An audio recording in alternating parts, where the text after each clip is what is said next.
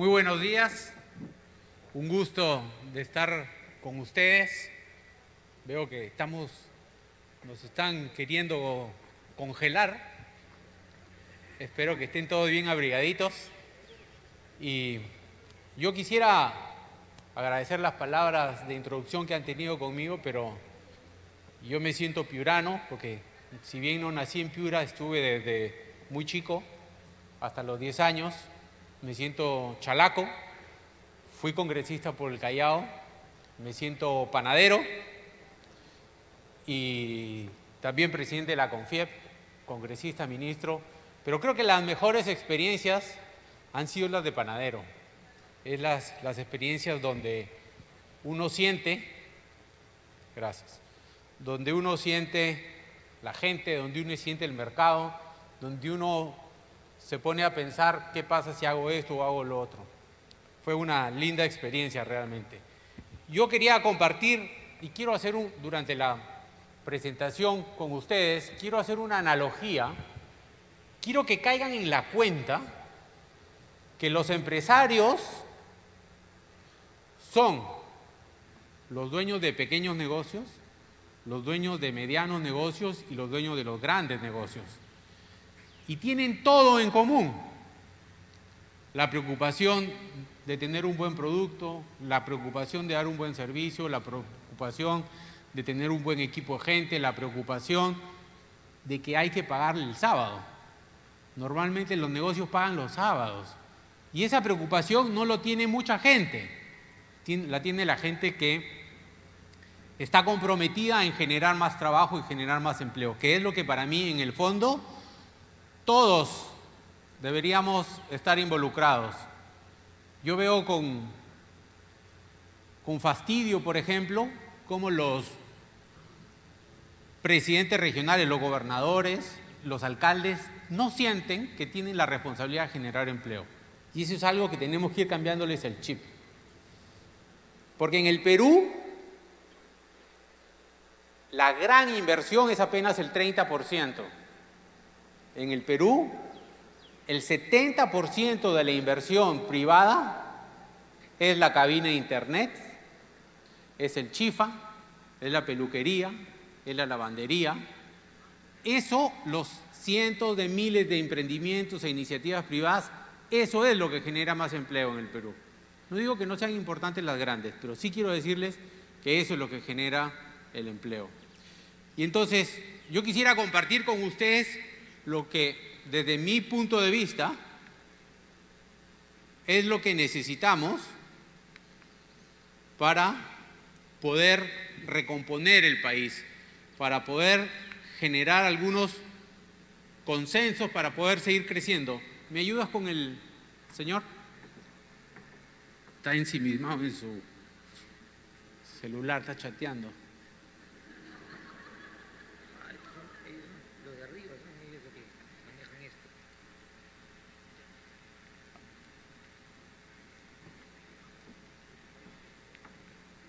No pasa nada. A ver quién me ayude con esto. Y entonces, yo creo que es bien importante esto que les estoy diciendo. Los empresarios chiquitos son iguales que los empresarios grandes. Yo fui a hablar con, con la Asociación de Grandes Empresas y le dije, oye, deberíamos hacer una campaña para ver cómo ayudamos a resolver, ¿cuál es? Cómo ayudamos a resolver los problemas de las pymes, de las MIPES. ¿Por qué? Porque en el fondo, resolviendo los problemas de los pequeños, resolvemos los problemas de los medianos y de los grandes. Entonces, muchos de ustedes no tienen la edad, pero en el Perú hemos pasado por hiperinflación. Yo les voy a contar qué es hiperinflación. Yo cuando era panadero tenía que comprar dólares porque la harina estaba en dólares. Siempre está referenciada. ¿Ustedes saben lo que es una caja de leche Gloria de 48 latas? Todos los días subía en mi carro una caja de leche Gloria de 48 latas llena de plata. Eso es hiperinflación. Cuando en la mañana vas a comprar la leche y tiene un precio y en la tarde tiene otro precio. Eso es hiperinflación. Entonces nosotros hemos pasado por hiperinflación, hemos pasado por terrorismo. Muchos de ustedes no lo, puede ser que no lo hayan vivido, pero la otra vez conversando con una persona me dijo, a mi hermana la mataron, le hicieron explotar en Villa El Salvador y se refería a María Elena Moyano. Y me dijo, y al día siguiente vino una señora y me entregó todavía parte de mi hermana. Eso es el terrorismo. Es doloroso. Decenas de miles de peruanos murieron en el terrorismo. Teníamos 56% de pobreza, cayó del 56 al 26 y ahora debemos estar cercanos al 30% de pobreza. Eso es inaceptable. Eso no puede suceder en un país como el Perú. Hemos enfrentado una pandemia y yo les diría que prácticamente todas las familias hemos sido afectadas por la pandemia, pero nos hemos recuperado. Y entonces lo que yo quiero compartir un poquito es dos conceptos por los cuales tenemos que ponernos de acuerdo para poder tener una mejor posibilidad. Aquí les voy a compartir un termómetro económico que hace el IPE, el Instituto Peruano de Economía, y ahí ustedes pueden ver que el PBI ha caído, que es el crecimiento de la economía, ¿no? La inversión pública ha caído, la inversión privada también, la inversión privada o está en cero o está un poquito por debajo en cero. ¿Qué significa eso? Que la cantidad de plata que, invirtieron todos, no los grandes empresarios, todos los peruanos, ha sido la misma que el año pasado. No es que sea cero. Cuando se dice la inversión privada es, crece cero, es que crece respecto al año anterior cero. Tenemos la producción de minería metálica cayendo, ¿no? Una pena porque tenemos un potencial enorme, pero estamos llenos de conflictos sociales que no permiten que se produzca más. El despacho local de cemento, que es un indicador líder, también sube y vuelve a caer. ¿no? Tenemos el precio de la venta, del, el precio del pollo en el Perú hoy día es más importante que el precio del dólar. Y entonces tenemos que la gente que tiene trabajo en Lima de forma adecuada también viene cayendo las exportaciones no tradicionales, que son las que generan mayor valor agregado y que generan mayor em-, empleo, suben, bajan, suben, estamos creciendo 6%, deberíamos estar creciendo 10, 12%. Gracias a Dios tenemos los TLCs tan criticados por muchos pensadores de izquierda. Y yo le decía a mis amigos de los gremios sindicales, le decía, miren, el TLC con Estados Unidos ha hecho más por los derechos laborales de los trabajadores que ustedes en 40 años. Y es cierto, se, hizo, se avanzó mucho más. Un indicador de importaciones de bienes y capital, ¿qué significa? las máquinas que las empresas o que quienes están haciendo un negocio, puede ser lavandería, puede ser peluquería, lo que fuera, están importando. Y eso cae. Significa que la gente no está pensando que va a crecer, sino la gente está pensando en que se va a mantener. Hoy día vamos a los centros comerciales y vemos algunos locales cerrados y la gente no quiere crecer más, dice, con lo que tengo suficiente. Pero el problema es que si todos decimos que con lo que tengo es suficiente, los 400 mil chicos que salen de las universidades y de los institutos no van a encontrar trabajo. O sea, hay 400 mil chicos más o menos que tienen que encontrar trabajo. Y por eso el Perú tiene que crecer por lo menos 4%. 1% de crecimiento son 80 mil empleos. Yo estoy hablando de los 400 mil chicos, de ustedes. Ya, pues los que tenemos 50, ya fuimos. Porque ¿quién va a conseguir chamba a los 50? Y entonces, tenemos expectativas a la baja yo les quiero preguntar y les pediría que levanten la mano. A ver, ¿quiénes creen que con lo que hemos conversado, con lo que conocen ustedes de coyuntura, de coyuntura económica y de coyuntura política, ¿quiénes creen que el Perú va a estar mejor dentro de un año? Nadie. A ustedes les pregunto, con lo que sabemos hoy día de situación económica, con lo que sabemos hoy día de situación política, ¿quién quiere agarrar su plata, sus ahorros y meterlo en un negocio? Pocos, pocos. Y si les pregunto, se han abierto 100 plazas de trabajo en España, ¿quiénes quieren ir? Foto, foto, foto, foto, foto, foto. Y entonces, ¿qué nos está pasando? Lo que nos está pasando es que estamos perdiendo la confianza. Estamos perdiendo la confianza en la economía, estamos perdiendo la confianza en la política, estamos perdiendo la confianza en nuestros gobernantes. Eso es muy malo. Lo que les pasa a ustedes, le pasa exactamente a todos los empresarios. ¿O ustedes creen que los empresarios no son ciudadanos? Es lo mismo, ¿no? Conversaba con unos chicos de los olivos que le habían robado tres veces, tres veces les habían robado todas las máquinas de su cabina internet. Y dijeron, ya no ponemos más. ¿Cuánta gente, cuántos amigos tenemos que les han robado dos, tres y cuatro veces el celular? ¿No? ¿Cuánta gente de nuestra familia va al hospital y tiene que esperar tres, cuatro, cinco semanas para que le hagan una cirugía o le saquen una muela? Entonces, la gente está, todos estamos perdiendo la confianza. Pero lo que no podemos perder es la esperanza. La corrupción se puede robar la plata. Hay que perseguirla, hay que castigarla. Pero lo que no se puede robar es nuestra esperanza. Y la gente buena en el Perú es mucho más grande que la gente incorrecta, que la gente mala. Entonces, creo que es fundamental que podamos recuperar la confianza en la cual el factor más importante es el mensaje de quien nos gobierna. El que nos diga, vamos hacia este camino, síganme, yo los voy a acompañar.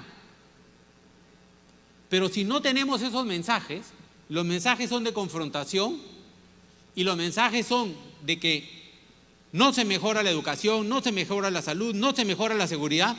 Entonces todos percibimos algo como ciudadanos y como empresarios.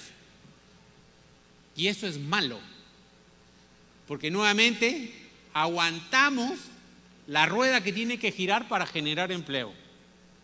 Para mí, se lo voy a repetir a lo largo de esta presentación, lo más importante es el empleo. Y entonces, ¿qué necesitamos para jugar en las mejores ligas? Oye, tenemos que prepararnos, o sea, tenemos que estudiar. Ya sea que quieras una carrera universitaria o técnica, tienes que estudiar. Yo escuchaba a un, a un señor muy exitoso y me decía, claro, todo el mundo dice que por qué yo soy tan exitoso, pero lo que yo no les cuento es que cuando mis amigos iban de viaje yo seguía trabajando. La gente exitosa trabaja más que los demás.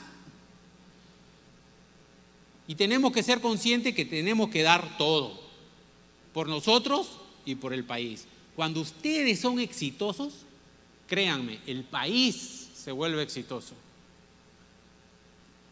Cuando a ustedes les va mal, al país le va mal. No es al revés.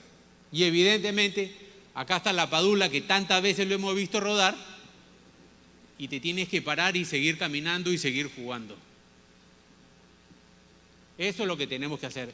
Entonces, mínimamente busquemos dos temas, dos puntos, donde todos podamos estar de acuerdo.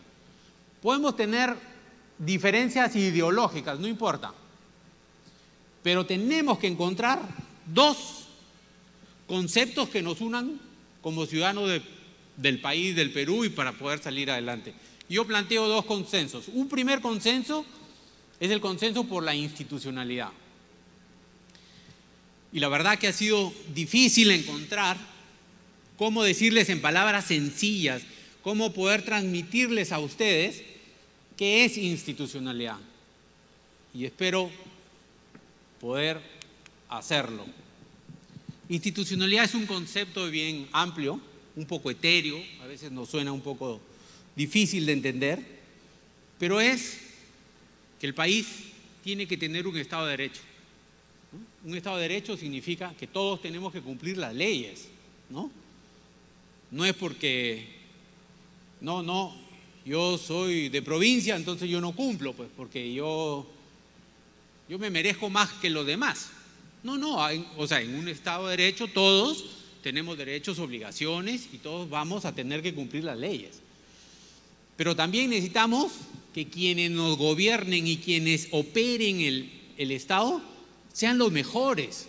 Yo me acuerdo haberle dicho al presidente García cuando yo fui ministro, le dije, presidente, tenemos que pagar los mejores sueldos en el Estado.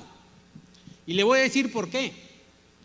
Porque en el sector público, un gerente que lleva a un directorio una inversión de un millón de dólares, ese gerente tiene una maestría, ese gerente tiene gente de soporte, ese gerente ha estudiado probablemente alguna especialidad para poder llevar a un directorio un planteamiento que sea aprobado. Y en el directorio están los dueños. En cambio, en la municipalidad de Ventanilla, para hacer un proyecto de desagüe, el señor que va a hacer el planteamiento a la municipalidad, de repente gana 15 veces menos que ese gerente en el sector privado. ¿Acaso no nos merecemos los peruanos que tenemos pocos recursos tener los mejores funcionarios públicos? ¿Por qué no? ¿A cuántos de nosotros nos han dicho, ya señor, apúrese, ya no moleste, siga el siguiente, por favor. Oiga, señorita, yo le pago su sueldo. Atiéndeme bien, atiéndame con cortesía por lo menos. Yo puedo entender que no tenga las capacidades o no tenga el proceso, el procedimiento para lo que yo necesito, pero atiéndame bien. Necesitamos los mejores funcionarios públicos. Sin funcionarios públicos, bueno, el, Estado lo único que tiene es la calidad de su gente. Y eso tenemos que lucharlo. Necesitamos instituciones que funcionen independientes y respetadas. Escuchaba Lucas, hoy día tenemos una constitución que nos permite tener una independencia total en, la Fiscalía de la Nación que pueda investigar la corrupción a más alto nivel. Por supuesto, hay gente que quiere cambiar eso y que no, no hayan instituciones independientes. El Poder Judicial independiente, la Fiscalía independiente, eso es lo que nos hace un país fuerte, potente, poderoso. El Estado tiene que ser un Estado fuerte, sólido, eficiente. ¿Cómo puede ser que uno sube a 1500 metros de altura, ya no hay posta, ya a veces no hay ni comisaría, no hay colegios, en el colegio hay un profesor que es multi-aila, multigrado, multitodo. Eso es ausencia del Estado. También creo que es importante, y se lo voy a comentar después, es interiorizar que tenemos nosotros como ciudadanos derechos y obligaciones. Y finalmente, quienes nos gobiernan llegan a través de la política y necesitamos partidos políticos fuertes, transparentes, ¿no? partidos, partidos políticos con democracia interna. Entonces, quiero hacerles una pregunta, porque creo que con la, la pregunta y la interacción de ustedes podemos darnos cuenta un poquito más de qué es este tema de la institucionalidad. ¿Cuántos conocemos? ¿A cuánta gente conocemos? ¿O, cuántos de ustedes saben de alguien que ha tenido que dar una platita para que camine la licencia de funcionamiento o la licencia municipal o la licencia de construcción? ¿Cuántos sabemos de estos casos? Se da en todos lados.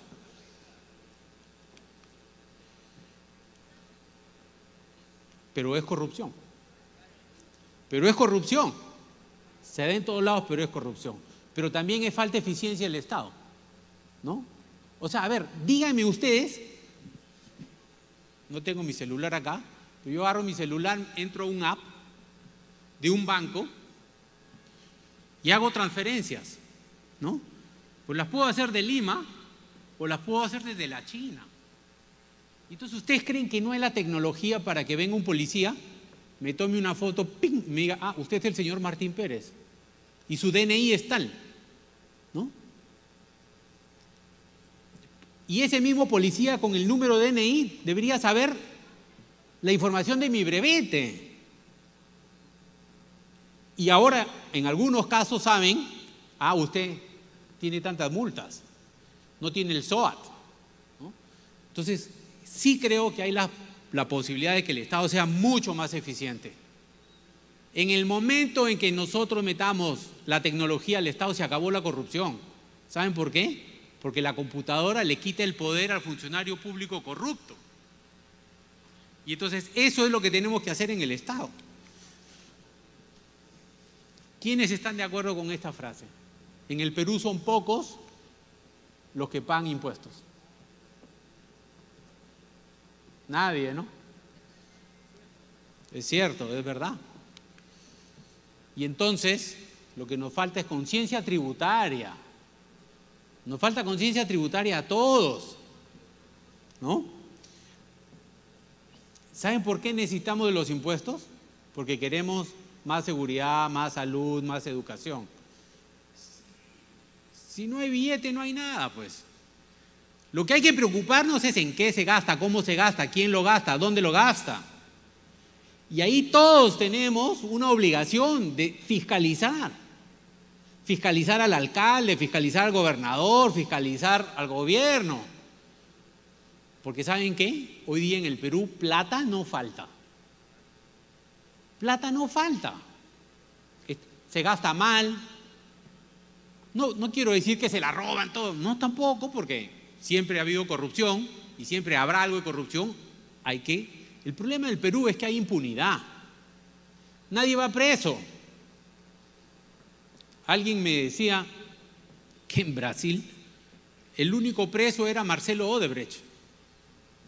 Y entonces había un corruptor preso, pero no había ningún corrupto. O sea, todos los políticos ya habían salido. Entonces, creo que es importante que nosotros mismos, porque ustedes todos son actores económicos también, tomemos conciencia de que hay que pagar impuestos. ¿Cuántos de ustedes creen que en el Estado entra la gente por tarjetazo, entran los familiares, entran mis amigos, entran mis paisanos?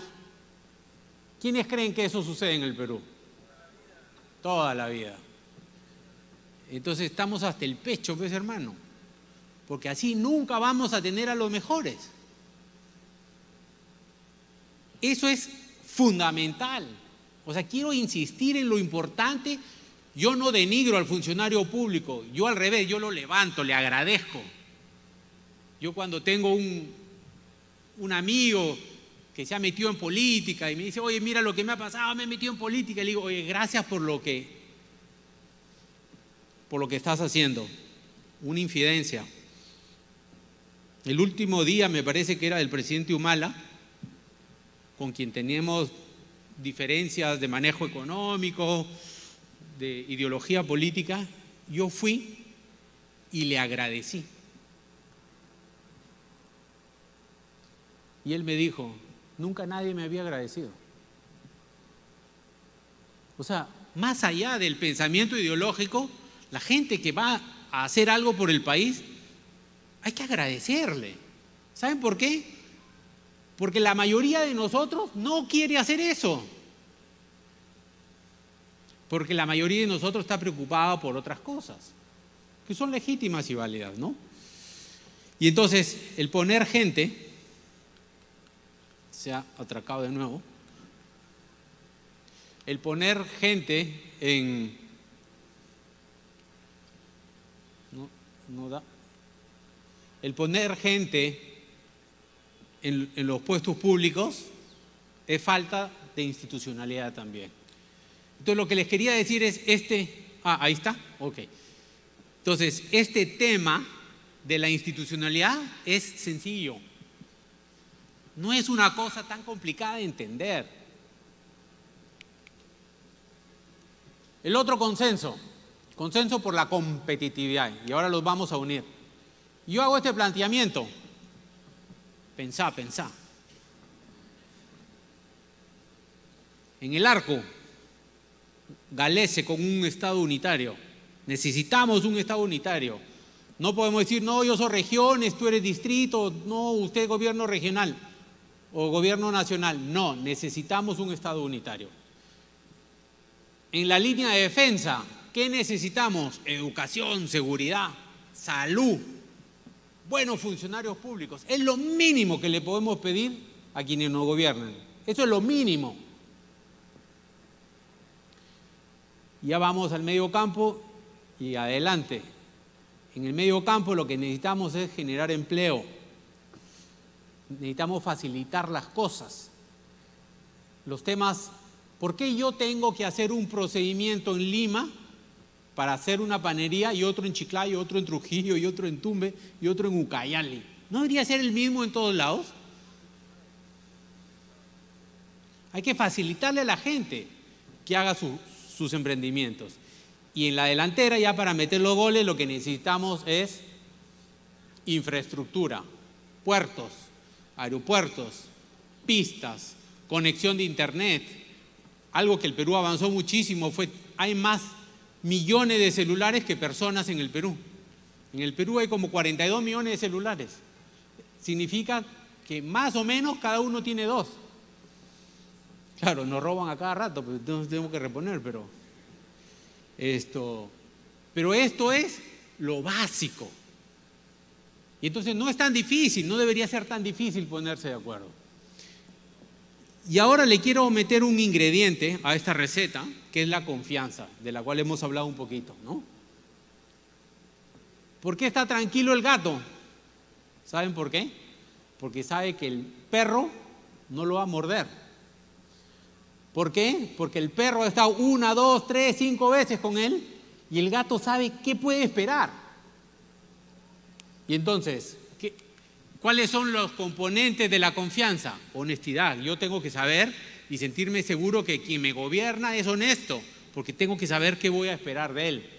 Coherencia, ¿no? Oye, este señor siempre hace lo mismo, este gobierno siempre hace lo mismo, es coherente lo que dice con lo que hace. Predictibilidad. ¿No? Si uno llega a su casa a las 10 de la noche y la mamá le dice, oye, es un poco tarde, perfecto, entonces llegó a las 9. Pues llegó a las 9 y me dice, oye, es un poco tarde, oye, mamá, ¿qué pasó? No, y llegas a las 8 y te vuelven a decir, es un poco tarde. Entonces, los agentes económicos necesitan predictibilidad, que no le estén cambiando las condiciones. Tienen que saber qué cosa va a suceder hacia adelante. Enganchando un ratito con lo de Lucas, ¿Se imaginan una constituyente donde, además, imagínense pues que nuestros congresistas de hoy tendrían que hacer un esfuerzo para hacer una constituyente o elijamos unos nuevos? Pucha. Como dicen los chivolos, qué medio, pues. Respeto. Todo esto genera confianza, ¿no? Estabilidad en el tiempo, seguridad, Estado de Derecho, que yo sepa siempre cómo me van a medir, ¿Qué me van a exigir? Eso es fundamental. Y entonces tenemos el marco de la institucionalidad, el marco de la competitividad y le metemos un tercer ingrediente que es la confianza. ¿Y a qué me lleva esto? A romper el chanchito. Cuando yo esté seguro de que no me van a robar mis, mis cabinas de internet, que a la señora que vende anticuchos, que también es una emprendedora ¿no? y una empresaria de una microempresa, ¿no? o a la familia que tiene en el garaje una bodega, no le van a robar, va a mejorar su instalación, va a mejorar, ya va a decir, ya, ahora vamos a poner otra refrigeradora para ofrecer gaseosa y cerveza helada. ¿no? Entonces se mejora la inversión nos lleva más. Hay, un, hay una, una frase que yo siempre digo que es fundamental para que ustedes puedan entender. Más inversión es más trabajo. Más trabajo es menos pobreza. Entonces, para mí lo más importante que puede hacer un gobierno es medir un solo índice, y lo podemos hacer todo. ¿Cuántos empleos está generando el gobierno? ¿Cuántos empleos genera la economía? Hay una medición trimestral del Ministerio de Trabajo y entonces así le podemos decir a nuestros gobernantes, oiga, usted en este trimestre le dio trabajo a 70 mil peruanos, pero fíjese que en el siguiente semestre usted hizo que se despida 200 mil peruanos. Ese es, o sea, el trabajo está reconocido por todas las constituciones del mundo como la única fuente de riqueza. Las constituciones de izquierda, de derecha, de todos lados, reconocen al trabajo como la única fuente de la riqueza. Y también en alguna conversación con el expresidente Humala, yo le decía, presidente, yo estoy de acuerdo, me parece muy bien, yo era presidente de la CONFIEP, yo estoy de acuerdo con los programas sociales, me parece coherentes, sensatos, necesarios, pero, pero creo que la mejor forma de sacar a una familia de la pobreza es con trabajo. Si el papá de una familia tiene trabajo, la mamá tiene trabajo, los hijos van accediendo al trabajo, esa familia sale de la pobreza. No tengan duda, esa familia sale de la pobreza. Mantener los subsidios por mucho tiempo es un poco complicado. ¿Y qué pasa cuando hemos hecho encuestas y todo? Cuando hay empleo, mejora la educación. ¿Qué hace un papá o una mamá? Cambian de colegio a los hijos y le ponen un mejor colegio y por lo tanto tengo más ingresos, me curo también más rápido, me curo en un sitio mejor, ¿no? intento cambiar de vivienda, compro un lote nuevo, las familias ahorran en lotes, no ahorran en soles, no ahorran en dólares, muchos ahorran en lotes, muchos ahorran construyendo viviendas, ¿no? Primer piso, segundo piso, se va el, el hijo, la hija mayor se va al segundo piso,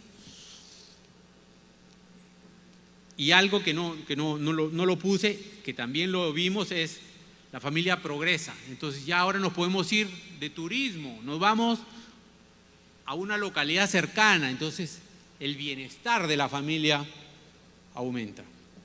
Y finalmente, si yo genero más trabajo y todos tenemos ingresos, entonces ahora quiero más casas, quiero más colegios, quiero más centros comerciales, que es algo que hoy día es percibido como un progreso de las familias también, y entonces se produce un círculo virtuoso.